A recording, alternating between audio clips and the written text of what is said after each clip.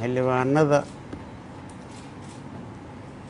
baarlamaanka aqalka sare iyo golaha shacabkaba. Asalaamu calaykum waraxmatullaahi wabarakaatu bacda salaan ramadaan mubaarak. Intii baydhabo hore u joogtay na waa salaaman yihiin. Intii ku soo baxday arrintaana soo dhowaada baydhabo ku soo dhowaada gurigiina ku soo dhowaada runtii sharaf iyo karaamay ii tahay inaad noogu soo noqotaan wada tashi arrimaha jiro ee doorashooyinka iyo caqabadaha yimid loogu qaas yeelay ama loo gooni yeelay koonfur galbeed darteeda aa u soo noqoteen oo aada noogu timaadeen wada tashi iyo talo waa ku mahadsantihiin. Marka ugu horeyso haddaan warbixin guud inka siiyo siyaasadda iyo arrimaha doorashooyinka iyo meesha ay wax marayaan waa og tihiin doorashadan wakti badan badan iyo soo qaadatay waktigii loogu talagalayna ma qabsoomin. Waxa ay la qabsoomi weysayna waxay ahayd isqabqabsi iyo duruufihii la soo maray muddo laba sano ahayna soo jiitamaysay. Labadaas sano oo ay doorashada soo jiitamaysay oo maalin walbaba geed la tegayey oo meel la fadhiisanayey annaga haddaan nahay reer koonfur galbeed caqabadahana qeyb kamaan ahayn. Waxaan qeyb ka ahayn dadka ka shaqaynayo dowladnimada soomaaliya midnimada soomaaliya wadajirka soomaaliya iyo in dalka uu waktigii loogu talagalay ay doorasho ka dhacdo. Yaan hormuud u ahayn hal maalinna mana aana cabanin caqabadna maana keenin. Balse waxaan diyaar u ahayn oon u taagnayn kuwa ee cabanayo ama konsaynka qabo wax sheeganayo in la xalliyo. Mar allaalihii markii doorashada lagu soo heshiiyo oo doorasho hala qabto la yidhaaho isteydyada qaara dhahaya ma qabanayno qeyb kama noqonayno waxbaan qabnaa annaga oo diyaar ah oo wax culaysana haysanin oo awoodi karna inaan doorashada qabanno yaan joojinaynoon lahayn ma qabanayno sababta maxay tahay doorashada iyo dowladnimada soomaaliya ma rabno in cid gooni ah lagu faquuqo. Waxaan waa consens waa wada ogol in maxay ahayde iyadoo uu qof soomaaliya maqan yahay aan soconnona ma aqbalayno. Waxaan u lahayn waxaa waaye midnimada soomaaliya yaan ilaalinaynay sharafta soomaaliyaan ilaalinaynay wadajirka soomaaliyeedaan dhowraynay. Sidaas darteed yay doorashada wakhtigan ku soo gaartay in qof kasta oo soomaali ah lagu qanciyey ugu dambayntii waxaa ilaahay qadaray inay doorashadii bilaabato iyadoo raalli laga wada yahay wada bilaabato isteydyada ka bilaabato heshiisyadii iyo habraacyadiina la soo dhammaystiro laguna heshiiyo shaqadii inay socoto. Hormuud baan ka ahayn shaqadii baan bilownay si fiicanay noogu socotay hal doorasho yaa soomaaliya oo dhan ka dhacday oo isku habraac ah oo isku mid ah oo doorasho dadban la yidhaaho markii la fiiriyo sida ay doorashada u dhacday annaga waxaan ahayn dadka sida rasmiga ah adinkana waa joogtaan soomaalina waa joogtay u maray habraacyadii loogu talagalay doorashada oo toos aanan waxba ka bedelin waxaa dhacay qorsho siyaasadeed oo cad oo loogu talagalay in koonfur galbeed lagu beegsado isbaaro loogu dhigto waxaa isbeddel weyn lagu suubiyey guddigii doorashooyinka ee fiid waa la kala qaybiyey waxaa loo kala saaray saddex gurub. Guddigii shan iyo labaatanka ka koobnaa isbeddelaa lagu sameeyey khilaafaa lagu suubiyey doorashaa la geliyey guddoon cusub baa loo sameeyey. Dad madasha ka mid ah ayaa waxay ku heshiiyeen in guddiga ay la wareegaan dadka kalena lagu dhibaateeyo guddigii shan iyo labaatankii xubnood ahaa yaa waxaa laga soo reebay saddex qof bas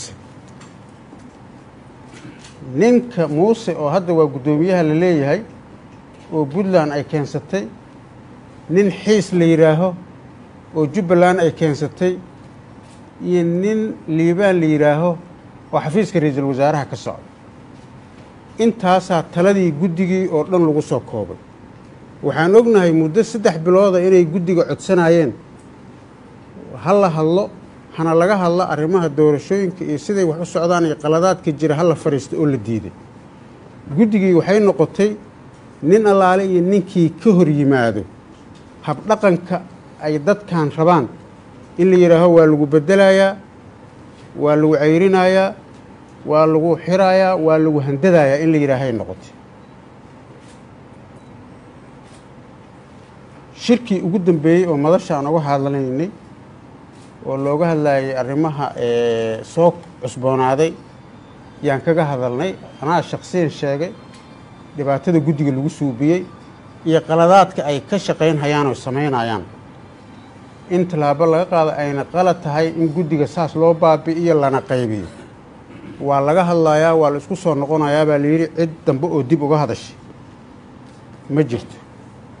Doorashadii aan ogeyn oo dalka ka dhacday oo sida siman u dhacday oo aan tan hadda aan idiin sheegayo ahoo aan ahayn dadkii ugu fiicnaa oo ugu toosnaa oo heshiiska annagan uu ahaa haddii wax yar oo caqabada ama cabasho ah ay ka timaado doorashada ama state ka mida uu cabto in madasha ay u timaaddo la isu yimaado oo laga wada hadlo.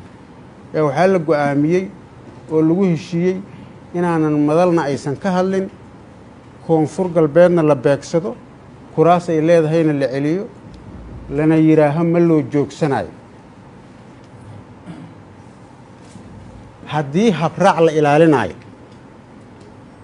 haddii doorasho saxa la rabo haddii wax qaldan la qabanayo waa ognahay dalka doorashada ka dhacday.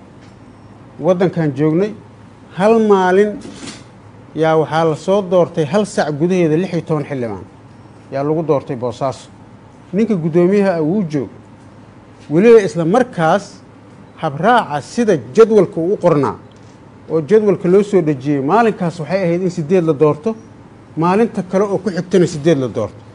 Waa haysaan taariikhda waa haysaan jadwalka meel walbuu yaallaa broseyska haddii la mari lahaa sidii saxdii lahaa loo mari lahaa hal maraa hal sac markii la joogaa waxaa la soo dhejiyey lix iyo toban sawir.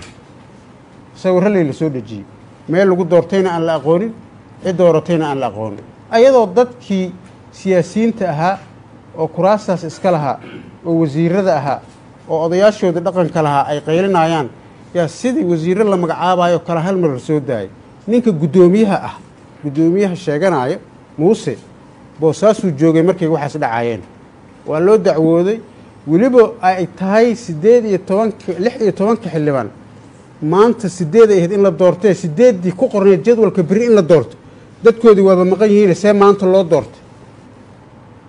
Haataa aanan la weydiinin yaanan waxba laga qabaninoo hal maalin aan laga hadlin oonan la joojinin. Sidaasoo kale doorashooyinkii deegaanada kale ka dhacday oo meel kasta lagu qabanayay yaa intaasoo kale ka badan iyo cillado lahaa yaanan hal maalin laga hadlin habraacoodana la joojinin aanan tilaabana laga qaadin oo oo la fasaxay oo la yidhi waa saxan yihiin. Ujeeddada waxay ku soo gebagabowday koonfur galbeed yaa keligeed isbaaro loo dhiganayo ayada oo laga leeyahay dano gaara iyo siyaasado gaara iyo ujeeddooyin gaar ahoo guracan oo uu wato xafiiska ra'iisul wasaaraha especially uu ra'iisul wasaaraha uu mas'uul ka yahay. Markii aan ka hadalnay oo aan nidhi maxaa sababay? Sababtaa naloo sheega guddiga fiid waa qaybsamay. Maxay tahay awooddiisa muxuu yahay sharciyadda uu ku celin karo kursi. Habraaci noo qornaa ma yahay inuu kursi reebo. Kuraasta doorashada haddii dacwo ay timaaddo waxaa xaq u leh dacwada inay qabtaan guddiga xalinta khilaafaadka. Isla markaas waxaa noo qoran hadday xallin waayaan guddiga xalinta khilaafaadka waxay ku soo celinayaan madashi. Dacwo jirtay guddi xallin khilaafaad kuraasti laguma wareejinin. Oo dacwaa jirtay guddiga xalinta khilaafaadka baa tiini kuraastan qabsada lama dhihin. Guddiga xalintii khilaafaadkiina madashi uma soo celinin. Shakhsiyaad qaasoo haddaan idiin sheegayo iyo xafiiskaas yaa waxay go'aansadeen inay ayaga guddi xallin khilaafaad noqdaan inay ayaga madal noqdaan in la yidhaaho waa la celiyey kuraasta. Annagana aan naloo sheegin sababta lagu celiyey markaan nidhi madashi ha timaada ha laga hadlana la yidhi madal kama hadlayso. Oo ma la yeelaayo intaas waxaa dheer ayadoo intaasoo cabasho ay jirto oo la leeyahay lama joojinaayo. Yaa waxaa la leeyahay doorashaa la gelayaa waxaan qabanaynaa shahaadadii baan bixinaynaa. Ma dhegaysanayno soo doonta shahaadadii looma joojinaayo warkiisa kuma jirno lama maqlaayo aniga maaha ninka warkayga lagu la diidaayo. Waxa la diidaayo warkiisa oo la dulminaayo oo la yasaayo waa koonfur galbeed. Aniga wax broblem goonihon qabo male koonfur galbeedaan madaxweyne ka ahay mana aqbalayo in dadka reer koonfur galbeed la dulmiyo. Wixii horey dulmiyadii hore oo jirayna nala soo xasuusiyey waxaan aqbalayno ma aha waxaan u baahannahay doorashada. Wadar ogol waaye in nagala qanciyo dhibaatadan annaga qaaska nagu ah iyo isbaaradaa naloo dhigtay. Naloo sheego waxay nagu qabatay naloo sheego waxa nagula haysto naloo sheego waxaan qaladnay inaan fahnaan rabnaa. Nala mariyo habraaci rasmiga ahaa oon xaqa u lahayn oon qorannay. Waxaan u baahannahay inaan ka hadalno sababta naloo joojiyey intaas waxaa dheer oo dhaqan ahoo la bartay dadkii soomaaliyeed iyo dadka hadda caadaystay inay reer koonfur galbeed dulmiyaan. Wakhtiga oo maanta laba kun iyo labadii la maraayo in inta message xildhibaanada loo soo diro oo social mediaha wax lagu soo qoro la yidhaaho ayagoo joogaana kooram waa dhan yahay. Waa la dooranayaa waa laga soconayaa waa la marayaa. Waxaas wax soomaalinimo ana ma aha meelay ka shaqaynaysana male dalkana waxaa ka jirta dowlad federaal ah. Dowladda federaalka ah ayada oo state ama qof uu maqan yahay wax dowladnimo ah iyo wax doorasho ah iyo wax dhismo ah oo socon kara ma jiraan. Hadday jiri lahaayeen horaan u samayn lahayn oo annagaa doorasho geli lahayn oo xildhibaano qaban lahayn markii ay isteydyada kale dacwada qabeen yaan maxay ahaydee doorashada qabsan lahayn? Soomaaliyaa kala go'aysaa shalayna la dhahaya annaga soomaali ma nihin miya dacwada annada lama dhegaysanayo miya. Annaga ma gu'i karna miya annaga dadka colays kuma hayna miya. Xaq uma lihin miya inaan nidhaahno waryaana la dulminin maxaa nagula dulminayaa? Shalay kuwii dulmiga ka baqaayey ama lahaa waa naloo joojiyey lahaa oo annaga aan ku soo baxayna ayaga maanta xaq noogumale miya inay nagu soo baxaan oo na weydiiyaan. Aaway sistamkii iyo nidaamkii ay ku socotay doorashada iyo heshiiskii iyo wadar olgolkii iyo isqancintii ay ku socotay maxaa sababay in koonfur galbeed keligeed jid loo istaago? Maxaa sababay ayadoo dana siyaasadeedoo gaara laga leeyahay ama ujeeddooyin guracan la qabo? In la yidhaaha lama joogsanayo oo la soo qoroo la yidhaaho waa la dooranayaa taariikhda waa la socotaan. Hadda ka hor jabuuti markii dowladda ugu horreysa la dhisaayay waxyaalaha la soo qoraayo waxay xasuusinayaanay ka mid tahay. Yaa markaas ma jirin koonfur galbeed. Federaalna ma jirin. Waxaa jiray inta waxaa ka jiray ururkii arare laakiin waxaa meesha lagu tegey si qabiil ah. Si laablaka ahaa wax lagu dhisay waxaa bannaanka uga baxay doorashadii dadkii deegaanadan ka soo jeeday. Waxaa la yidhi looma joojinaayo ayada oo la rabo guddoomiye baarlamaan in loo doorto yaa waxaa la yidhi waa la dooranayaa looma joojinaayo. Waa la doortay. Dad waxaan arkaya labadan beri wixii ayagaa soo qorqoraaya war shalay jamhuuriyadda dimuqraadiga soomaaliya la ahaa. Laakiin maanta waa dowladda federaalka soomaaliya. Heshiiska la qaatayna waa nidaam federaal ah oo imbagaati lagu soo dhisay. Nidaamka federaalkana wuxuu u baahan yahay in la ilaaliyo wuxuu u baahan yahay wada ogolaasho state wax diidan dowlad dhiska soomaaliya dacwo ka qabo keligiis cid wax u suubin karta ma jirto. Annaga waxaan dareensannahay wax ku talagal ah oo la diiday in nagala talageliyo oo la diiday in laga hadlo oo loogu talagalay naloogu talagalay annaga.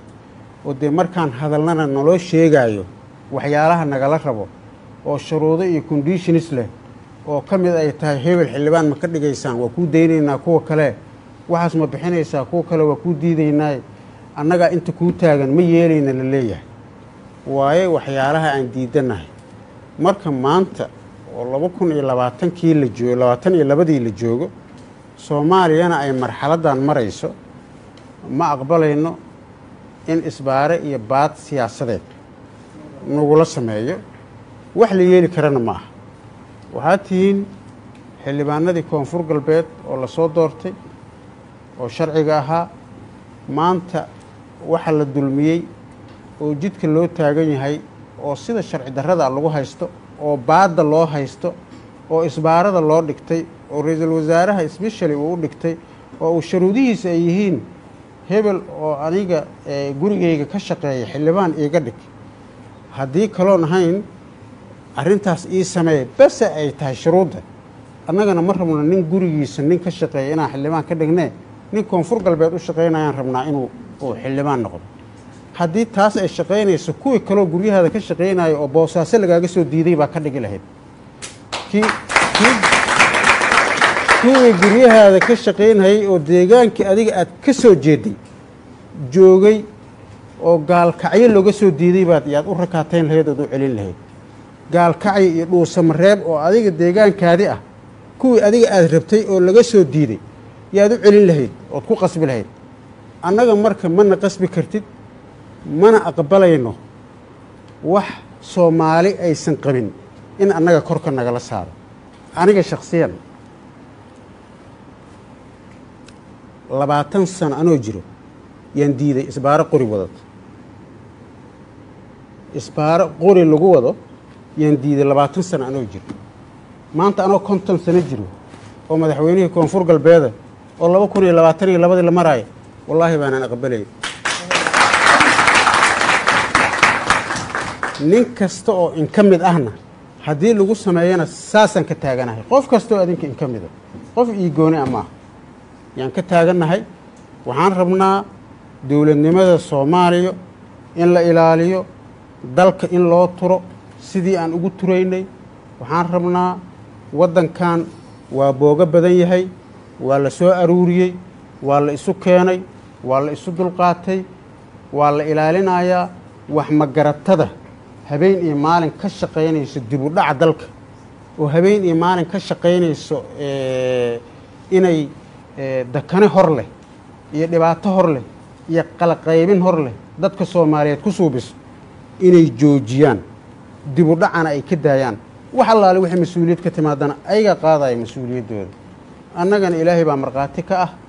Waa ogtihiin waxa aan ka soo marnay dowladnimada soomaaliya haddana mowqifkiiyaan ka taagannahay ma rabno inuu hal maalin dibu dhaca uu dhaco ma rabno in hal maalin gadaal loo noqdo ma rabno in dowladnimada soomaaliya ayna eersato ma rabno in maxay ahayday aan soomaaliya caqabad kuma ku noqonno. Weliga annagana kumaana noqonno haddana ku noqon mayno soomaalina waa og tahay ilaa iyo lixdankii xornimada la soo qaatay ilaa iyo maanta soomaaliya waxaan u taagnay dowladnimadeeda iyo xornimadeeda iyo wadajirkeeda iyo midnimadeeda. Haddana sidiiyaan ugu taagana laakiin waxaanan yeelaynin dulmi annaga gaar noo ah. Waxay garan waayeen si ay dhiigga annaga ku bannaystaan inay hataa laba qof nagu soo daraan. Hadday rabaan inayna dilaan aqligii baa ka dhumay. Si ay dhiigga annaga u bannaystaan waxay inay laba nagu soo daraan oo midna ay ka soo qabtaan gaalkacyo midna ay boosaaso ka soo qabtaan. Waxaan ka wadaa inay laba mid hawiye ah iyo mid daarooda nagu soo daraan. Yay ahayd si ay dhiigga annaga u bannaystaan. Laakiin adinka keligiina idin isbaaro idin dhiganaynaa. Waa wax dee aqli qof bini aadan uusan ku fikirin waaye. Waxa yaallana waa intaas waxaan isku hayno. Adinkaa xildhibaanadii ah la soo doortay ah aniga shaksiyan go'aankayga kanaa idiin sheegay waaye waxaan rabnaa inaan horay u soconno. Waxaan rabnaa laakiin inaan dulmiga diidno. Waxaan inkaga mahad celinayaa dareenkiinna iyo midnimadiinna iyo aragtidiinna fiican iyo dee saa ugu adkaysateen dulmiga joogtada ah. Anigoo og ninka markuu ugu yar yahay in labaatan qof konton qof ay soo wacayso oo la leeyahay maxaa u joogtaa? Maxaa u taagan tahay? Intaa la bixinayaa? Waa la kala tegey? Soo gaar? Waa la isdooranayaa inta ku soo orod maxaa lafti gareen ku agdhigay wax gooni o ana lii haayo male damiirkiina idin haayo maahane maanaa idin haayo idin ma hayo qofaan u yeeray min ku jiro. Hal qofaan wacay male damiirkiina in soo celiyey dadkan walaalihiinna oo lala haray oo weliba dulmiga lagula haray darteedaa u timaadeen.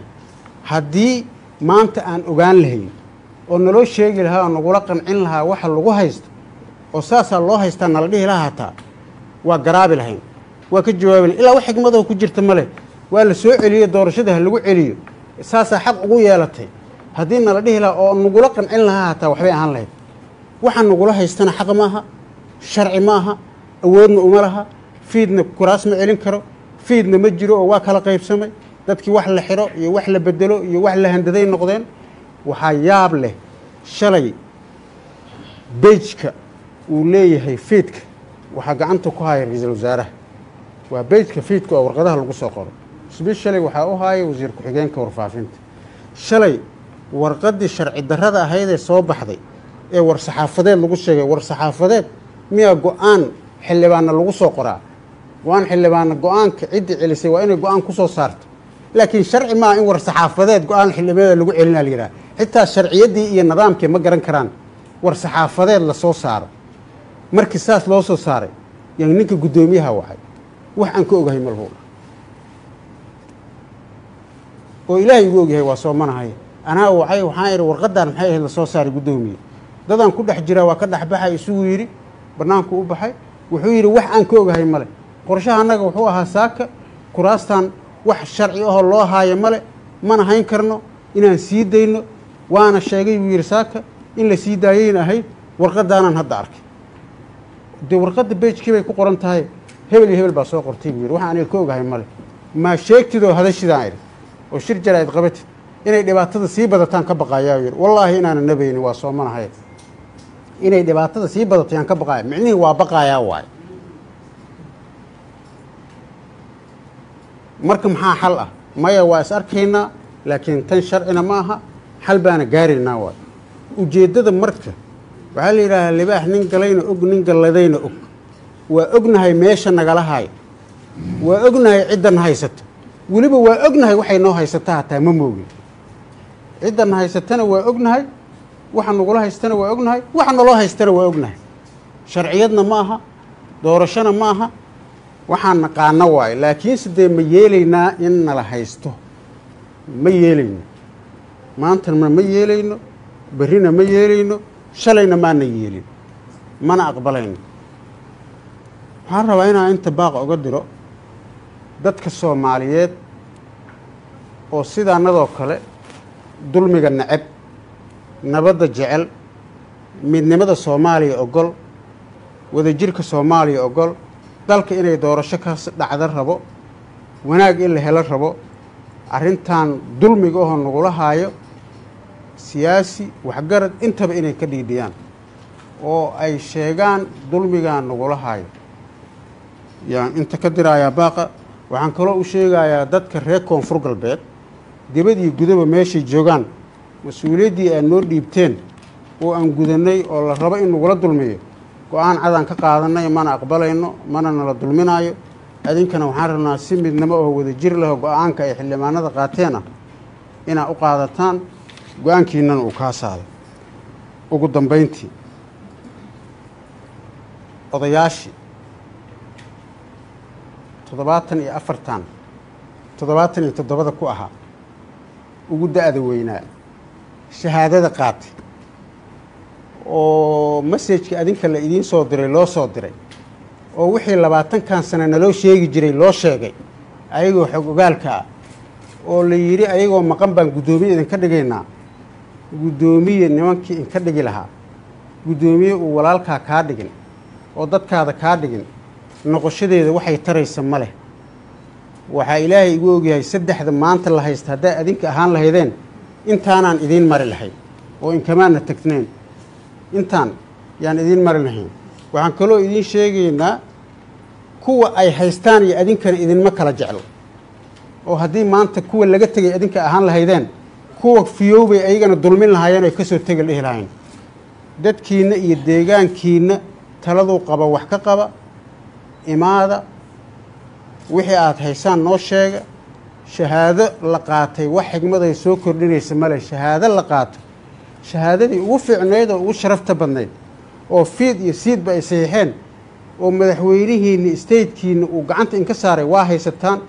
Mid muuse geelle uu idin siiyeyna xildhibaan laguma noqdo wax micno ay leedahay male xildhibaanna waa tahay oo shacabkaada iyo dadkaadaa ku doortay. Maanta cid kaa celin kartana xildhibaannimadaada ma jirto noo imaada taladiinna ku soo noqda deegaankiinna ku soo noqda dadkiinna ku soo noqda walaalihiinna iyo dadkiinna waxay qabaan wax la qaba. Odayaal muhiim ah la yaqaano taariikh leh dowladnimada soomaaliya iyo taariikhda koonfur galbeed qeyb kule baa tihiin. La inkama maarmo midnimadiinna loo baahan yahay midnimadiinna ka soo qeybgala aada iyo aada u mahadsantihiin asalaamu calaykum waraxmat ullaahi wabarakaatu